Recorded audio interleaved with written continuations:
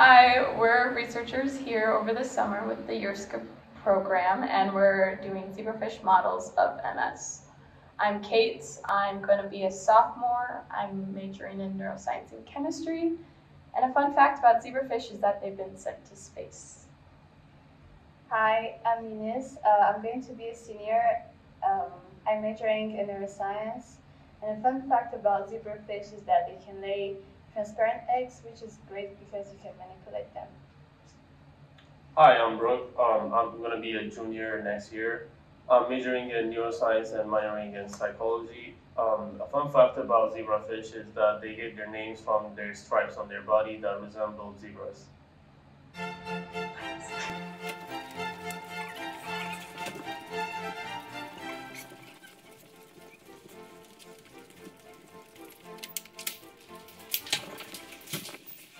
So enrichment refers to factors that affect the behavior of the fish. That could be the natural habitat we're trying to mimic here, or in the other room we have two tanks similar to this one set up that we're continuously playing music to see how enrichment affects their behavior.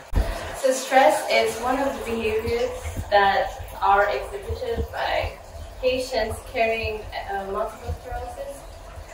Uh, and that is why we're trying to reduce it using enrichment.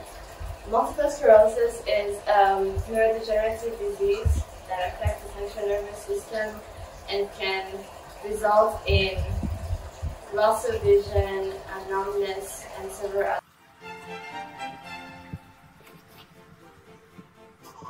So our first trial is when we put the fish in an empty tank to see a novel tank test.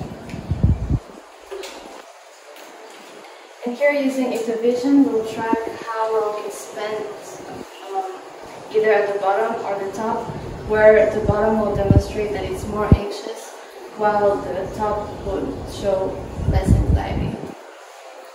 Here is the tracking. The red dot goes along with the fish. So our second test is the novel object test. So after we do the novel tank, immediately we put two of the same objects in this is it, to see if the fish just get familiar with the objects. Once we take that out, we leave it in there, then nothing with the objects in for a minute, and then we put a new object in, which is called a novel object, and then familiar and see if they recognize the new object.